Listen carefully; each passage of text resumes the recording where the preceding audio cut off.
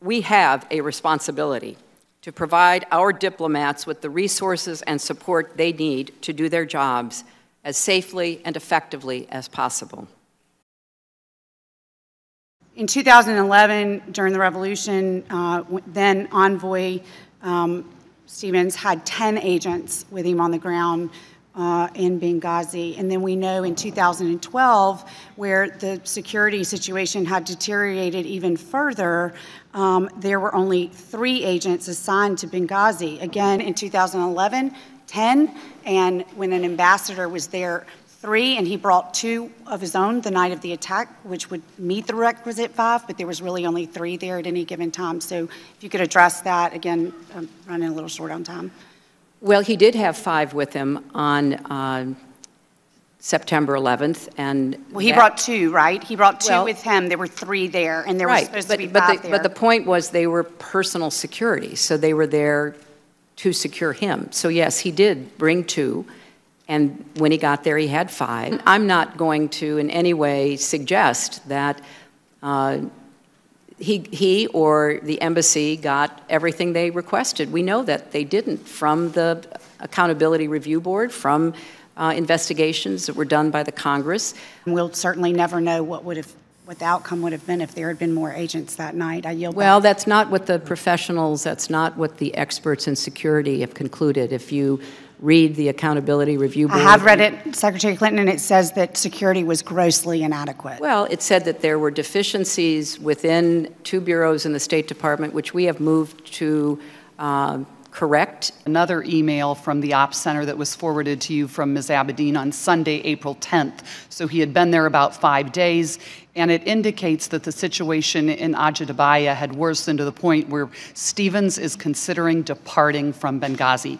This is within five days of him going in. Were you aware of that concern within the first five days that he had gone in? Yeah. And did anyone share that with you? And yes. did share that with you? We were aware because we were, we were really counting on Chris to uh, guide us. Did you ever personally speak to him after you swore him in in May?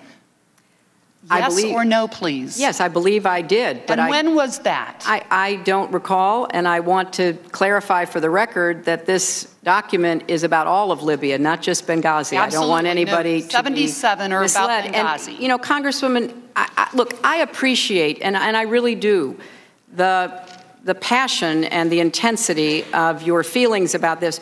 We have diplomatic facilities in war zones. We have ambassadors that we send to places that have been bombed and attacked all the time. And you're their boss. I- Is that you're right. correct? You're right, I am. You're And we- their leader. Is that correct? Are there situations where you recall, and I'd like to know what the conversation was with Ambassador Stevens and what month it was with Ambassador Stevens, because there are no call logs with him. There's nothing from the Ops Center with him that we have found. We have no record that you had any conversations with the ambassador after you swore him in and before he died, and you were his boss. I was the boss of ambassadors in 270 countries. Sitting here in the comfort of this large, beautiful hearing room, it's easy to say, well, there should have been. Somebody should have stood up and said, do that. But that was not the case. We do and have done uh, the best we can. Everyone who knew him, everyone who worked with him, including Libyans, as I said at the very beginning, um, would have given anything uh, to prevent this from happening. Um, our security professionals usually, in fact, more than 99 plus percent of the time, get it right. And Madam Secretary, if we would have given anything, had you talked to him in July, he would have told you that he had asked to keep the security in Libya that he had. He was told no by your State Department. We didn't give him everything. Thank you. I yield back. Gentlelady's out of time. The witness may answer the question if she'd like to. Well, it's the same answer I've been giving all day. Right? Chris Stevens had an opportunity to reach me directly anytime he thought there was something of importance. The people with whom he worked, the people who were around him and with him, uh, they very well understood the dangers that they were confronting, and they did the best they could under the circumstances. And many of the security requests, as I just detailed, were um, agreed to, others weren't. So we, Ambassador Stevens didn't have your email, is that correct? Your personal email? I'm sorry, what did you ask me? Ambassador Stevens did not have your personal email address. We've established that. Yes, that's right. Did he have your cell phone number? Nobody had the 24-hour number of the state operations uh, in that- the State Department that can reach me 24/7. Yes, ma'am.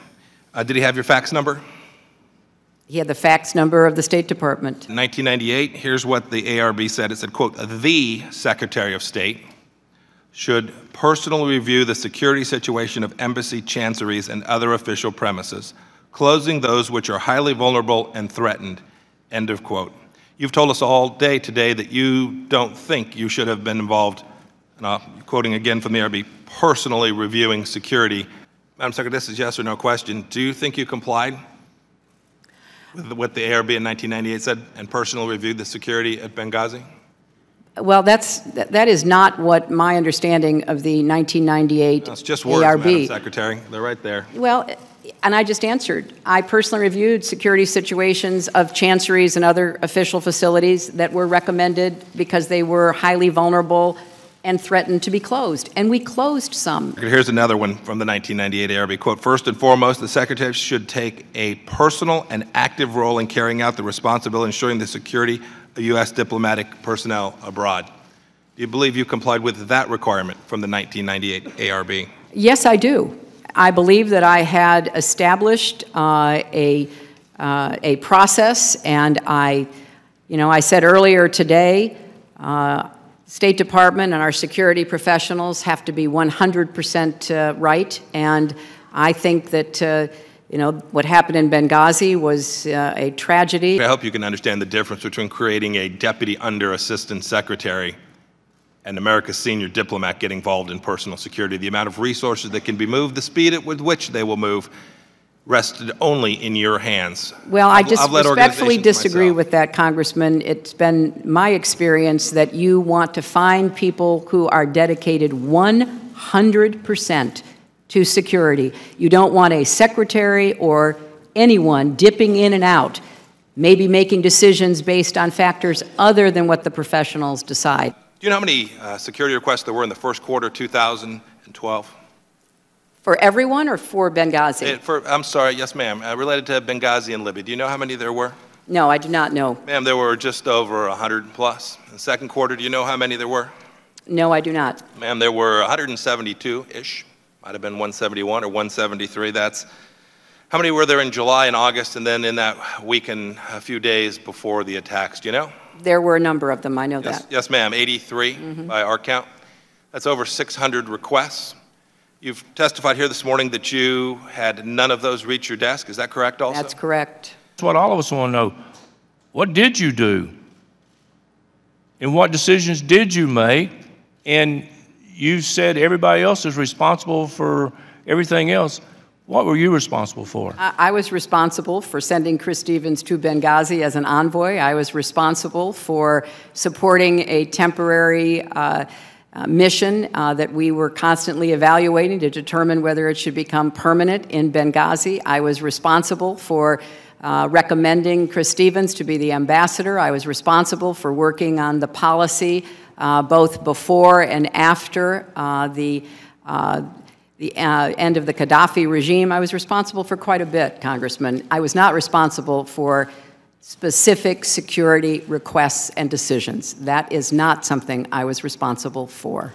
If you talk to the CIA uh, contractors that were at the annex and you ask them how they were armed and equipped, and then if you would or could talk to the diplomatic security agents that were at the facility, I think you will see that there was a big, big difference in the equipment that they had to protect themselves. But you knew of the two, what you call major incidents, but you don't recollect the other uh, 18 that Mr. Morrell says happened. How many instances would it have taken you to say, hey, we need to look at the security over there? Would it have been three major instances, 30 instances, 40 instances, 50 instances? How many instances would you have been made aware of that would have made you say, hey, I don't care what anybody else says, we're going to protect our people. Chris Stevens is a good friend of mine. We're going to look after him. How many would it have Well, taken? Con- Congressman, of course, I made it abundantly clear that we had to do everything we could to protect our people.